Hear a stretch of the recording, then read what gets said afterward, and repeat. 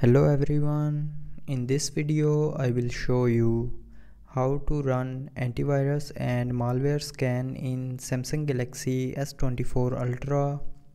So before starting the video, don't forget to subscribe the channel and also press the bell icon. So first of all, open settings. Now in settings, scroll down and here click on device care.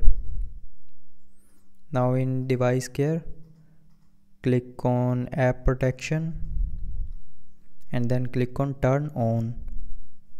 Now to run the antivirus and malware scan tap on scan phone and then it will start scanning for viruses and malwares. And you have to wait until it reaches 100% and then it will show you the results of scan.